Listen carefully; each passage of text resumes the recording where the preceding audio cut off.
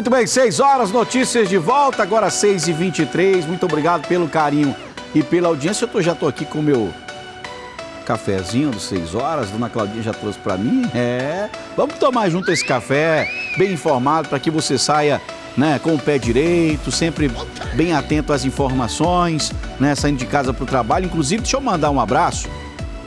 Um abraço para a rapaziada lá do Expresso Tarumã que está acompanhando o programa. O pessoal sai de casa já conectado já com as informações. A voz está falhando, viu, meu diretor?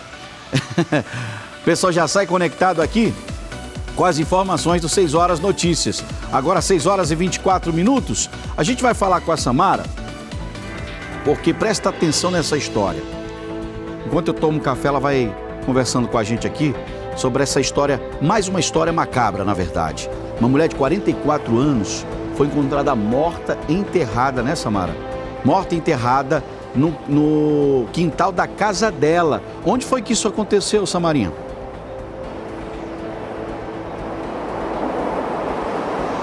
Oi, Márcio. Esse crime ele aconteceu no bairro Monte das Oliveiras, na zona norte da cidade. E o principal suspeito, Márcio, é o marido dela, viu? E ele tá fora. A polícia está à procura desse homem identificado como Anderson Guimarães. Ele comunicou com a família dela, a polícia, que ela estava desaparecida. Olha como começou isso, Márcio. Ele comunicou que ela estava desaparecida. Depois de um tempo, ele sumiu com os dois filhos dele, do casal.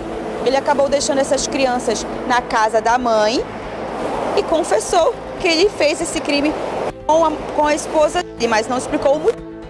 E até então só mãe e a família começou a procurar, fez vir a casa, até que eles foram até o quintal e começaram a cavar e encontraram o corpo da Maria e Holanda enterrado ali naquele lugar e o homem fugiu. A polícia agora está identificado como Anderson Guimarães, que morava lá na zona norte da cidade. É, é inadmissível isso, olha, é inadmissível. O cara que não respeita a própria mãe dos filhos, né? Um cara que não tem o menor coração, não tem nada. Um cara desse é frio, calculista, né? Planejou esse crime. Não há motivos para isso, não há. Não existem motivações, né, para você tirar uma vida, principalmente da mãe do, do, dos seus filhos. E aí tá aí a foto dele. Se você tiver informações do paradeiro, pode ligar para a polícia, pode ligar para um 81 190, sua identidade vai ser mantida em sigilo. Ô Samara, já tem, já tem algum alguma linha de investigação da polícia para encontrar o Anderson, esse criminoso frio e calculista?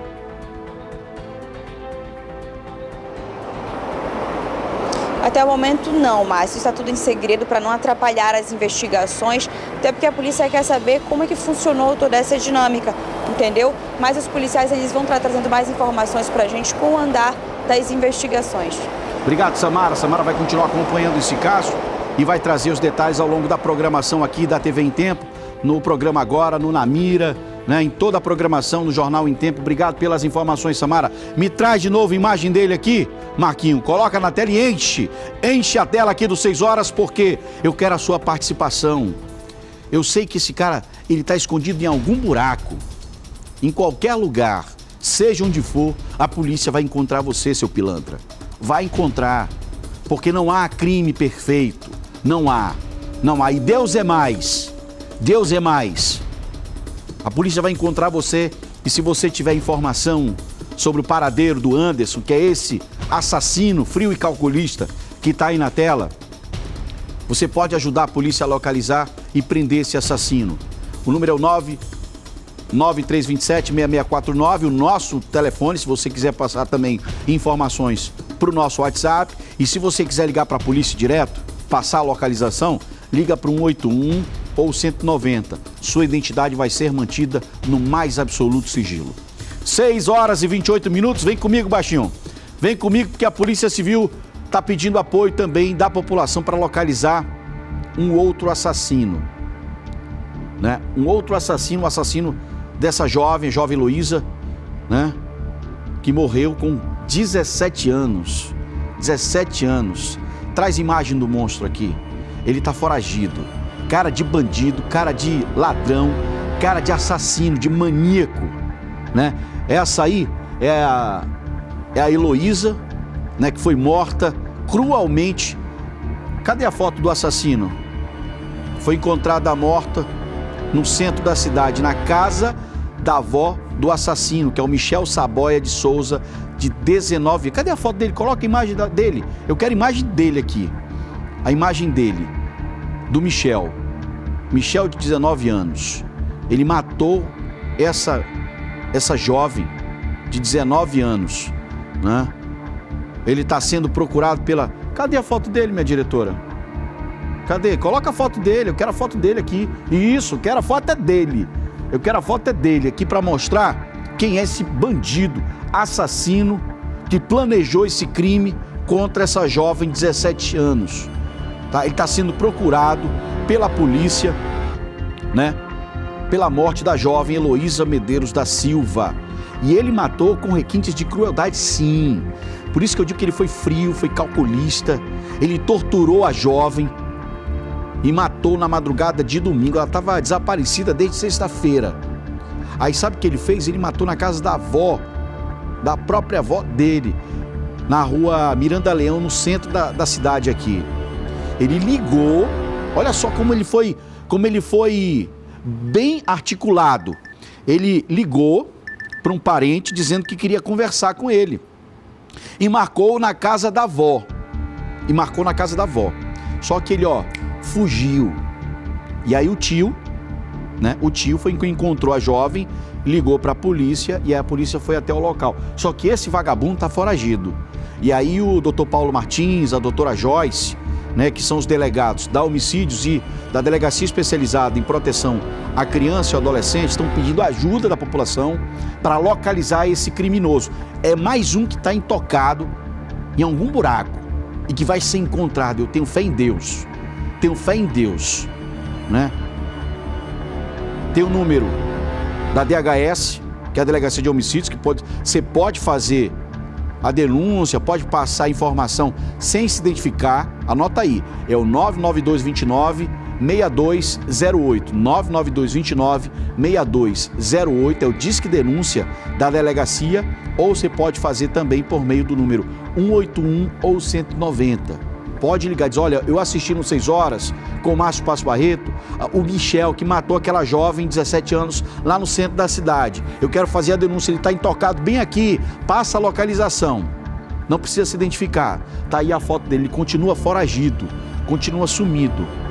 Né? Alguém deve estar tá dando guarida para esse cara. Pode ter certeza.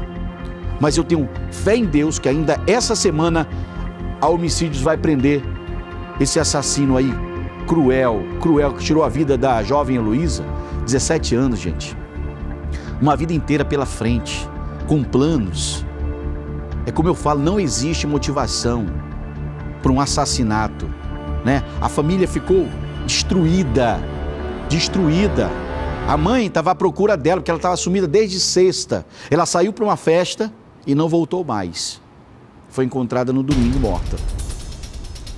Então, Vamos ajudar a família, vamos ajudar a família, porque crimes hediondos como esse não podem ficar impunes, não mesmo. Continuamos aqui na tela dos 6 horas falando de casos de polícia, traz aqui na tela, porque um jovem de 22 anos foi executado a tiros dentro de casa, dentro da própria casa na zona oeste da capital. A vítima não tinha, cadê? Enche a tela aí, enche a tela, Marquinhos. A vítima não tinha antecedentes, segundo a polícia, mas foi morta na frente de uma criança de apenas 4 anos de idade. Olha que impressionante, como os bandidos não estão nem aí para a vida humana. Essa é que é a verdade. O nosso querido Valdir Adriano traz os detalhes agora aqui na tela do 6 horas. Os moradores do Beco Ipaze, na Compensa, região oeste de Manaus, foram acordados pelos tiros. 16 no total. A vítima da vez foi Ronilson Laranhaga da Silva, de 22 anos. Uma dupla não identificada é suspeita da execução da noite desta terça-feira. Ele é de Tabatinga, o pai dele é colombiano. É, que a gente aparenta na nossa linha de investigação está uma linha de execução mesmo, mas nenhum envolvimento né, de tráfico de drogas, a gente tem nenhum registro sobre isso. Esse aqui foi o beco por onde os assassinos chegaram. Eram dois, vieram a pé até chegar aqui na entrada da casa da vítima. Chegando aqui, um grupo de mulheres que morava na casa estava bebendo aqui e perguntaram pelo rapaz. Eles invadiram a residência e encontraram o que seria o alvo, sentado na cama. Do lado havia uma criança. E sem pena, eles dispararam diversas vezes contra esse homem. E ao sair, ainda deixaram uma munição intacta de pistola .40 na mão da vítima. Segundo a polícia, a ação pode ser interpretada como um recado do tráfico de drogas. Ele tinha dinheiro, não trabalhava, então suspeita-se de algum tipo de envolvimento com alguma coisa ilícita, né? O que intriga as autoridades é que Ronilson não tinha passagem pela polícia e estava morando há pouco tempo com a companheira na casa onde ocorreu o crime. No beco, câmeras de segurança podem ter registrado a fuga dos assassinos. Por enquanto, a morte do homem ainda é um mistério a ser apurado pela delegacia de homicídios. Olha, é, é, é o que eu digo. O rapaz não tinha antecedentes, não tinha passagem pela polícia. Mas, de acordo com o doutor Fábio, as características do crime, as características do crime leva a polícia a acreditar que foi um acerto de contas. E aí que eu digo, meu amigo, você que é jovem, quer entrar no mundo do crime, quer uma vida fácil, não tem, meu amigo, não tem isso. Você vai embarcar numa vida perigosa, onde o fim ou é cadeia ou é caixão. Você vai perder sua vida, filho. Uma hora você recebe o recibo do crime organizado, que é esse aí, ó. Uma hora a tapioca vira. Não tem jeito. Não tem jeito. Você vai entrar no mundo do crime, você vai se dar mal. É sempre assim. É sempre assim. Então, fica, fica o alerta para você, mãe, para você, pai. Tem que estar de olho nas crianças, tem que estar de olho nos seus filhos, porque é complicado. Espero que essas câmeras que o Valdir mostrou aqui não sejam câmeras de monitoramento de traficantes, porque eles fazem isso. Eles colocam câmeras para monitorar a movimentação.